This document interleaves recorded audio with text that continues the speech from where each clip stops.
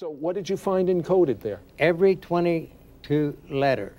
Now, 22 speaks to the Hebrew alphabet. Mm-hmm. There's 22 Hebrew. Basically, the symbol for the bowl, aleph, eventually becomes the letter A, and it flips around and becomes the letter A. But as I was fighting my way through Aleph Bet Yehoshua in Hebrew and the different mechanisms of neural response, I saw. show the market in Lagos.